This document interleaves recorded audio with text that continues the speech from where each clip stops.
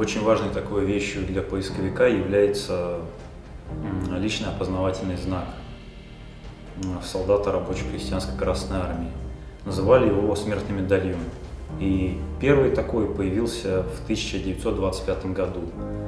А, он полностью копировал с собой царскую ладанку. Выглядел он примерно вот таким образом. Он открывался, и внутрь вставлялся бумажный вкладыш, в котором указывались все данные о бойце. Но в 1937 году от ладанки отказались по той причине, что а, ладанка показала себя крайне ненадежной. Она была не герметичной, и вкладыш в ней очень быстро становился негодным. И в 1941 году на смену таким опознавательным знаком личным пришли вот такие, 6 либо 8 гранные. А, и были они в двух вариантах. Первый с ушком. Как правило, такие медальоны выдавали а, морякам. И такой медальон носился на шее. И второй вариант выдавался, как правило, сухопутным войскам и носился такой вариант в специально отведенном кармане штанов. Внутрь такого медальона вставлялся бумажный вкладыш, в котором указывали все данные о бойце, начиная от его имени, фамилии отчества, заканчивая его ближайшими родственниками. Он складывался на две половинки, скручивался и вставлялся внутрь. А, когда боец погибал, то приходила похоронная команда, вскрывала смертный медальон, отрывала половинку вкладыша, и а, боец уже считался официально погибшим. Когда боец а, терял смертный медальон, то было положено выдать ему новый, но не всегда такое удавалось. И бойцы выкручивались как могли. Один из наиболее распространенных вариантов был вот такой.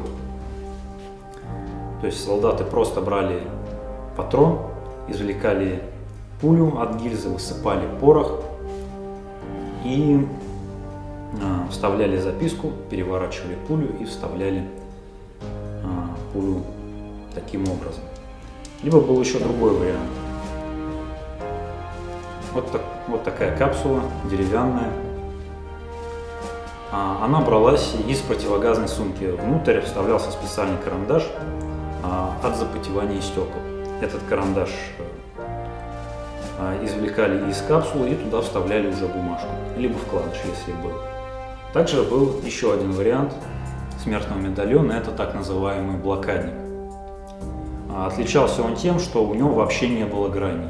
Это было сделано с той целью, чтобы упростить производство.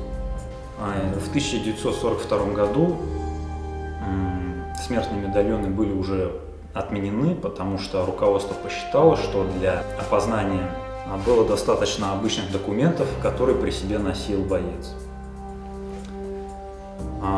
У немцев был вот такой смертный медальон.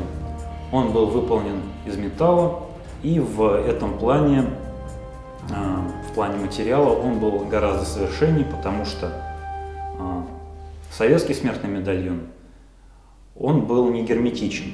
По идее, здесь должна была быть резиновая прокладка, чтобы внутрь не попадала вода и влага. Но э, их не выдавали. Поэтому зачастую, когда э, находят э, смертный медальон, если в нем есть вкладыш, то он, как правило, набухший, и его трудно достать. На немецком смертном медальоне набивали специальные знаки, то есть тут не писалось ни имя, ни фамилия. Такой медальон, когда боец погибал, приходила похоронная команда, отламывала одну половинку, а забирала себе, а другую половинку оставляла при бойце. Смертный медальон – это, наверное, самая главная вещь для поисковика, а, по той причине, что именно, как правило, благодаря смертным медальонам и устанавливают личность бойца. Но порой случаются такие моменты, что он вскрывает смертный медальон, там пусто. Либо там какие-нибудь иголки. С чем это связано? Это связано с тем, что среди бойцов э, был такое суеверие, что если ты заполнишь смертный медальон, то ты в скором времени погибнешь. Поэтому некоторые бойцы, которые были суеверны, они не заполняли смертный медальон.